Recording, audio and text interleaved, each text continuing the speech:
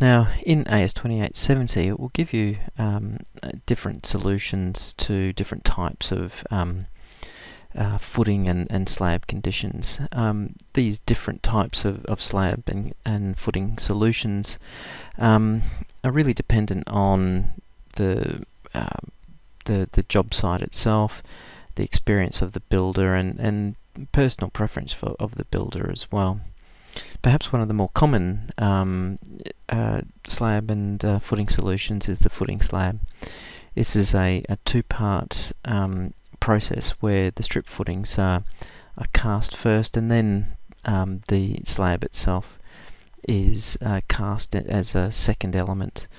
Often the, the two will be joined together with um, uh, starter bars from the reinforcement from the footing and you'll see also that there are uh, situations where the slab is thickened underneath uh, load-bearing walls. Another quite common um, uh, solution is the stiffened raft. Um, the difference between this and the uh, solution before is that the stiffened raft is a single pour solution.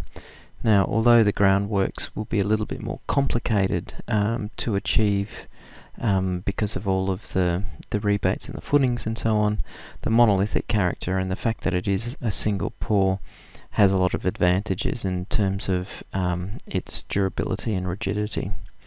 Notice again that there are situations where we have significant uh, downstand beams um, and there are rules where load-bearing walls, how much offset from downstand beams um, they can be and also other solutions where just a slab thickening uh, underneath load-bearing walls. The advantage, I guess, of the stiffened raft is that in situations where we are on uncontrolled fill sites, we can combine the solution with uh, a piered or piled uh, site. So we can introduce uh, bored piers, um, which are concrete filled uh, columns that then go down to um, stable ground and then we cast our raft on top of that. This avoids any uh, problems of uh, subsidence of the uncontrolled fill site. Another um, solution that is, is gaining some popularity is, is a waffle slab. Now the advantage of the waffle slab is that um, there's very little complex um, uh, excavation because it's all built off a flat, uh, absolutely flat platform the uh, spaces between the main um, uh, downstand beams in the slab are uh, created by void formers and these void formers are typically large polystyrene blocks. Uh, though the material costs in this may be a little bit more expensive, um, the the gain in in terms of site uh, preparation and time on site um, will often uh, make this a more cost-effective solution. We then start to get into other um, more hybrid solutions and these are contingent I guess on the um, uh, site situation and the project situation. So here we see uh, a quite a deep um, strip footing with a controlled fill underneath a, um, a stiffened slab.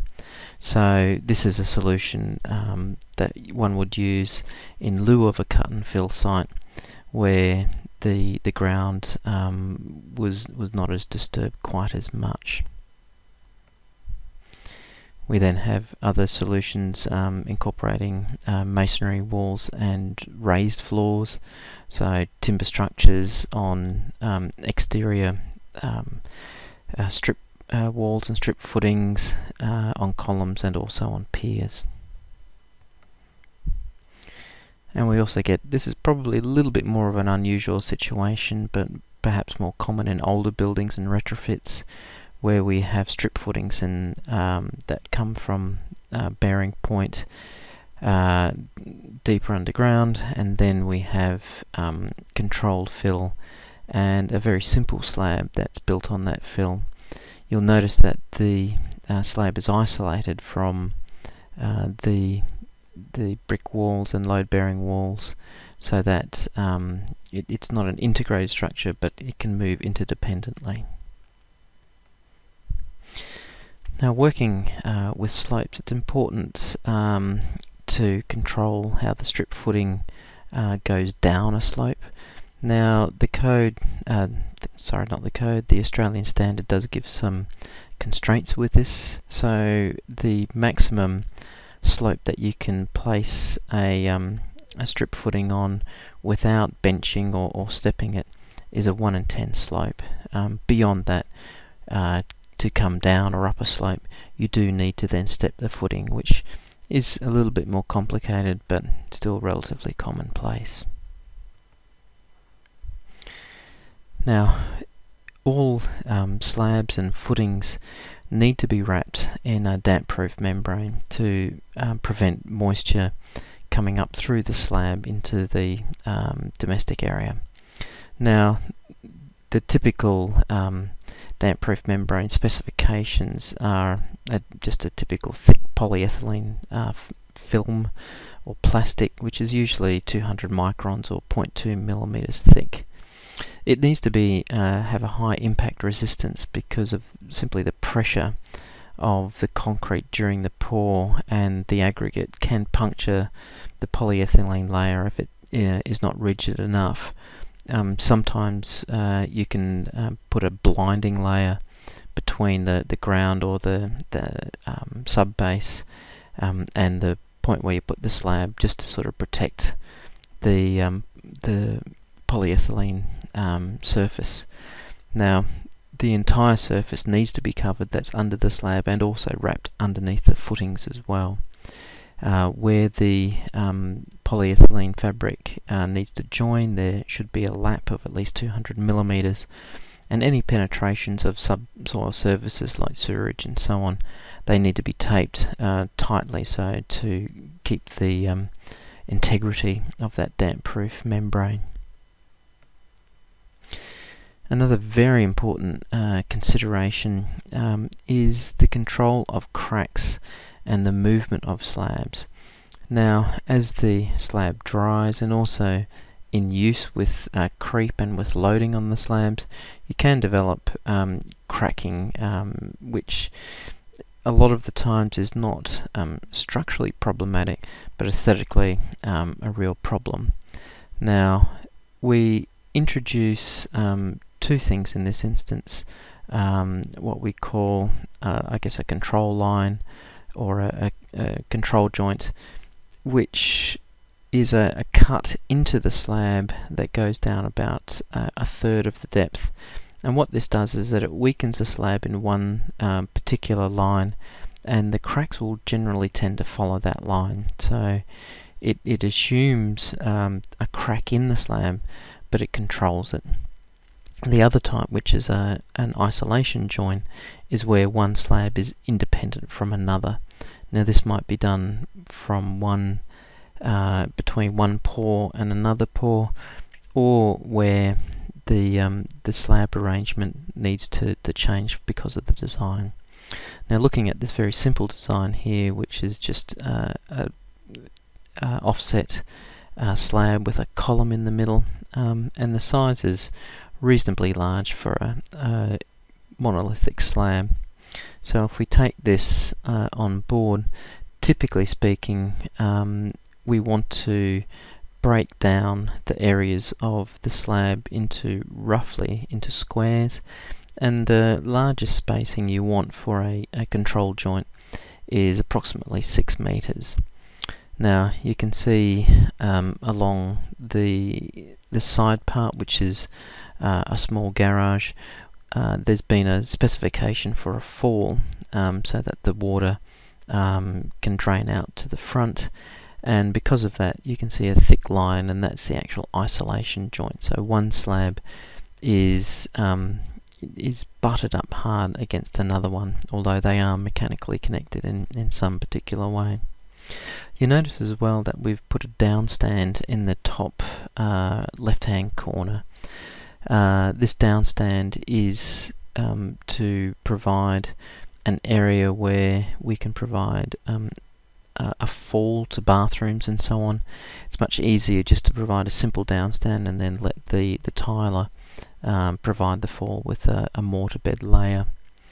Now, when we provide downstands, we need to plan them in advance, and it's not just simply putting a rebate into the uh, concrete, but the actual slab uh, thickness needs to be maintained underneath that downstand. So the underside of the slab also must push down as a result.